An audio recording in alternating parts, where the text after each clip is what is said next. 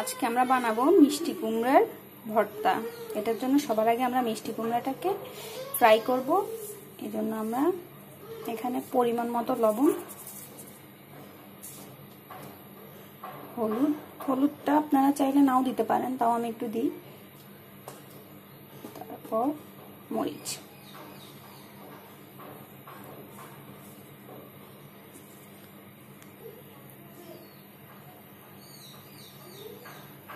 তারপর আমরা ভালো করে মিক্স করে নেব।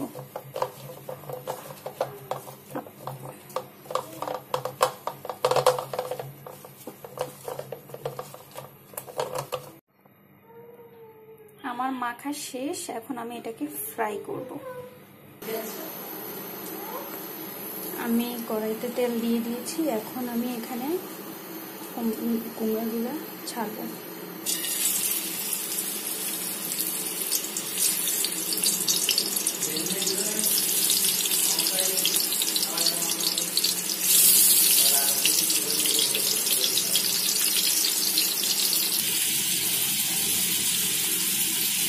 আমি পুরোটা একসাথে দিয়ে দিয়েছি এটুক এটুক করে ভেজে নেব।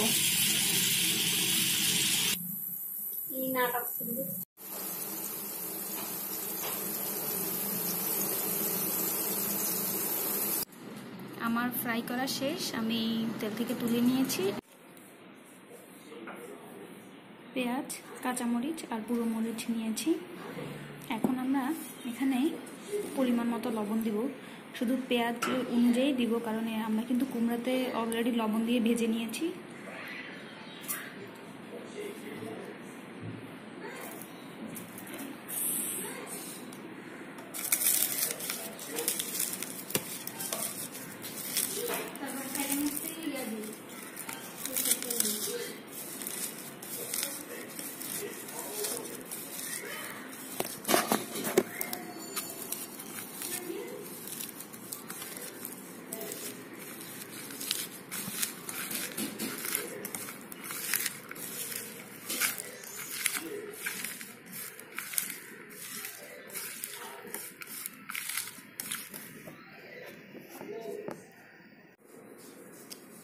আমরা এখানে অল্প একটু সরিষার তেল দেবো।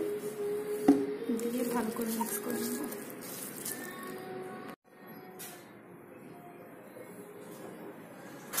এরপর আমরা যে ভাজি করা যে কুমড়াটা ছিল, সেটা আমি এভাবে চটকিয়ে নিয়েছি। এখন আমরা দুটা মিক্স করব। আপনারা কোনো শিল্পাটার কোনো ঝামেলায় জড়াতে হবে না এই ভর্তার জন্য।